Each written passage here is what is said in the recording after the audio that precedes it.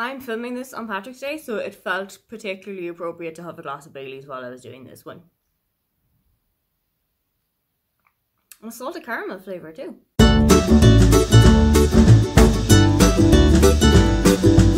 Hi, welcome. Come on in. My name is Aoife, and today I am bringing you a very special rendition of Books and Brews.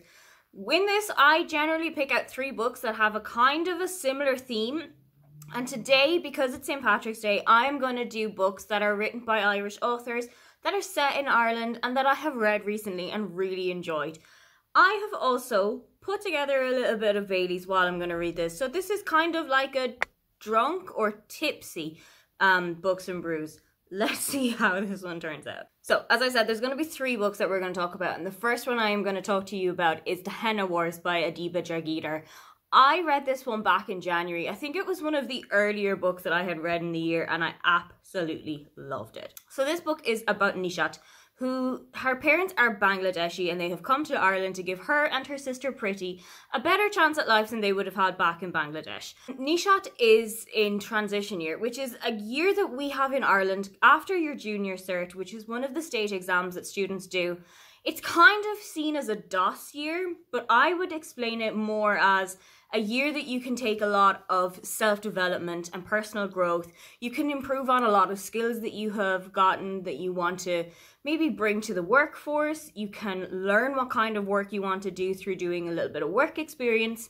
And one of the aspects of transition year that I really enjoyed was your mini company. Nishat decides to set up a mini company based around henna designs because she really enjoys doing henna and it is a part of her culture that she really wants to bring into her life here in Ireland. So she sets up her henna business, but also there is a new girl in the school called Flavia who is Irish Brazilian Flavia also sees Nishat's designs at a wedding that the two of them are at at the beginning of the novel, and she decides that she also wants to set up a henna business for her TY mini company.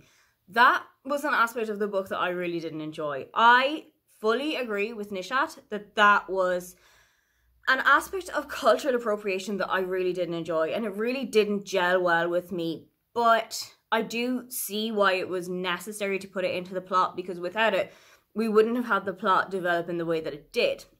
And the way that it did develop is that Nishat gets a really, really strong crush on Flavia, and quite a lot of the book is about them kind of coming to terms with their feelings for each other, coming to terms with their sexuality, and discovering who they are.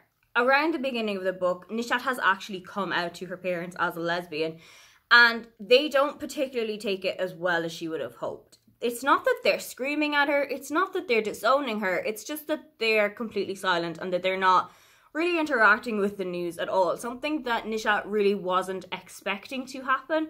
I feel like this kind of homophobia that you get from your parents when you've come out and they're not expecting the news, they don't really know how to react to it. It's definitely something that happens and it's something that puts a lot of people off telling their friends and family who they really are. This is something that I think Adiba really dealt with well in this book here. Another aspect of the book that I really did not enjoy was the Islamophobia. That was also pretty difficult to read.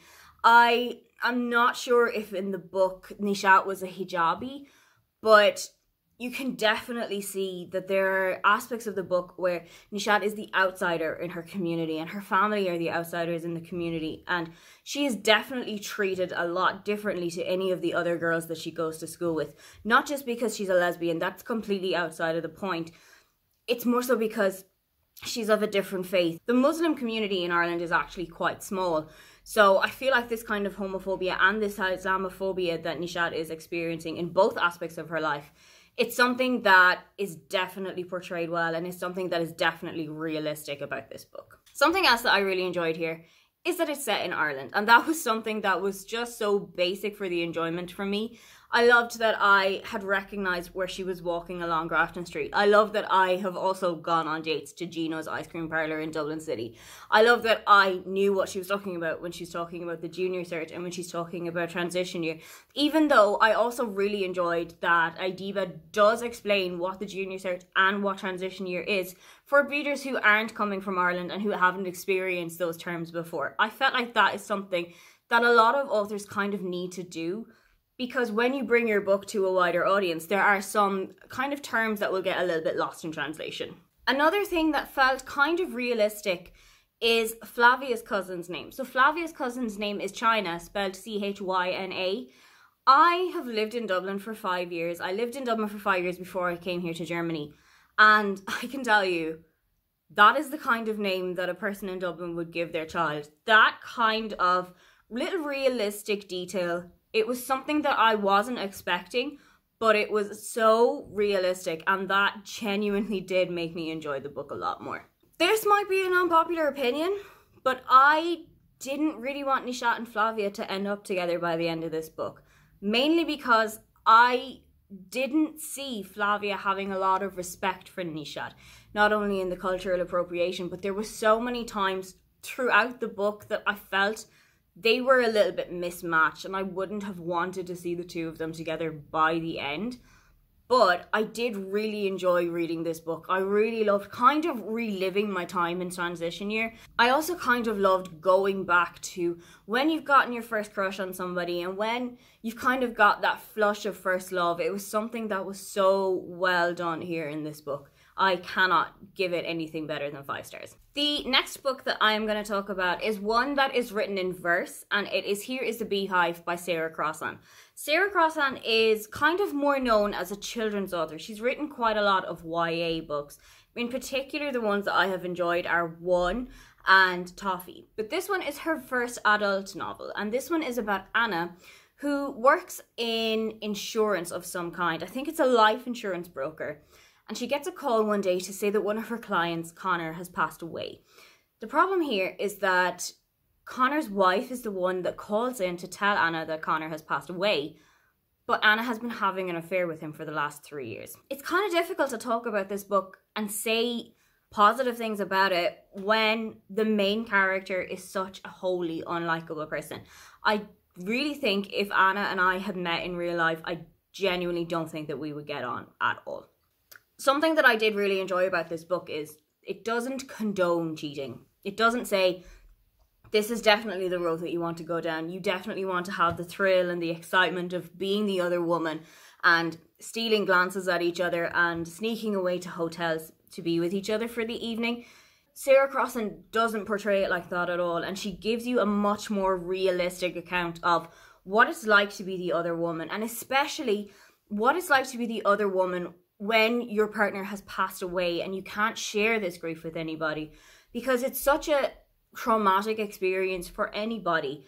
But it's made even worse when there's nobody that you can share this experience with. As I've said, Anna's not a very likable character, and I didn't really find her to have a lot of redeemable qualities.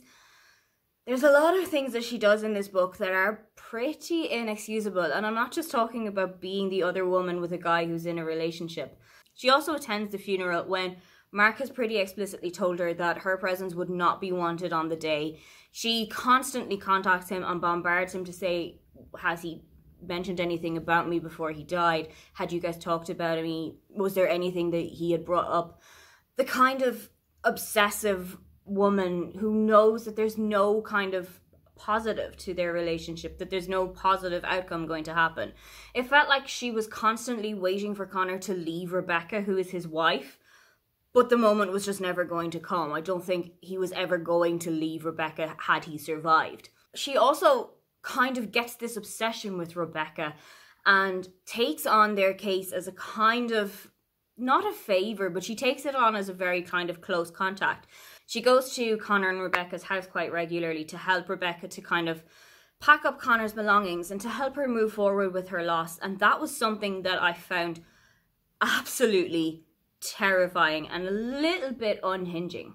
I'm going to talk about the ending and make it as spoiler free as I can, but I didn't really enjoy it.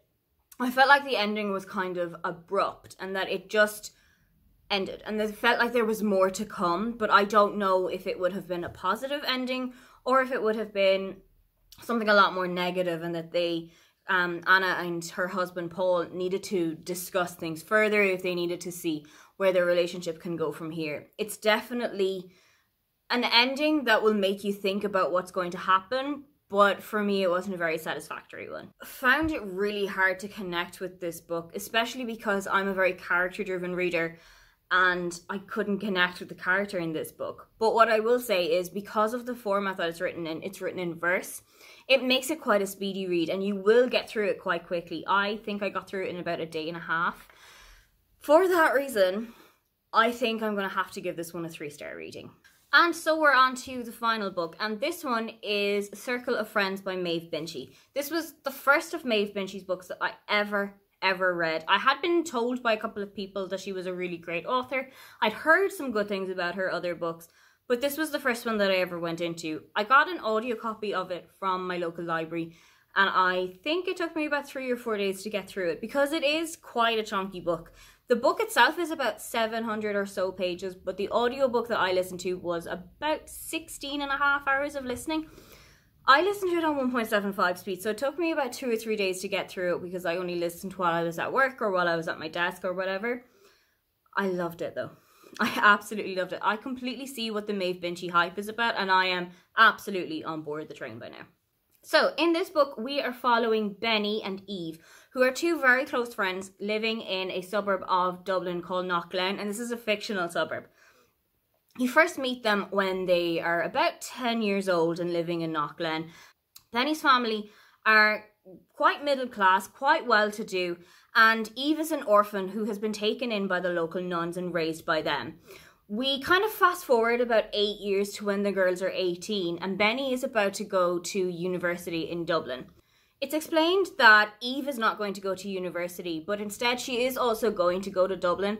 Here she's going to take a secretarial course and she's going to live with another order of nuns that the nuns that she grew up with know that are in the locality where Benny and Eve would be going to.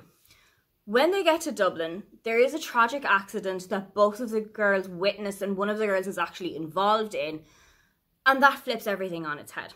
Through this, Eve is actually given the opportunity to also attend University College Dublin, and they interact with quite a lot of other students that are there. Nan is portrayed in the book as a very beautiful girl, but her family life is quite tormented, and she also meets Jack, whose father is a doctor and he's quite well to do, one of the most well to do students that she would have known in her time there. There's a lot of kind of moments where you feel like Benny doesn't fit in here. For example, there's a dance that happens about a third of the way through the book, and you get the feeling that Benny is very much sitting on the outside of the precipice and doesn't interact with the other students as well as anybody else in their circle would have done so. Throughout the book, there is also quite a lot of romantic entanglements between the members of the group. Um, Benny falls in love with Jack, Nan falls for another person in their group called Simon, I didn't love the outcome of that relationship. There's quite a difficult moment in the book where Nan falls pregnant on her first time having sex with Simon and he just completely disregards of her and she basically has to find another way to have this child not have it out of wedlock and not bring any kind of shame on her family and on herself did not love that reaction in the book, and it really brought Nan down in my estimation of her as a character. This book was written in around 1990 or so, and it's set in the 1950s, 1960s Ireland.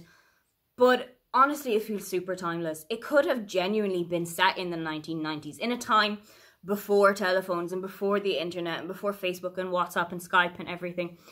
It's a very timeless book and it's one that I'm definitely happy that I started with Maeve's catalogue from. I cannot wait to see what else she has in store for me. I'm just completely devastated that Maeve passed away in 2012. So when I'm finished with that, there won't be anything new to discover. So those are some of the best Irish books that I have read in the last couple of weeks. What Irish books have you read recently and really enjoyed? Don't forget to like and subscribe because I have new videos up every week. Now, get on out of here.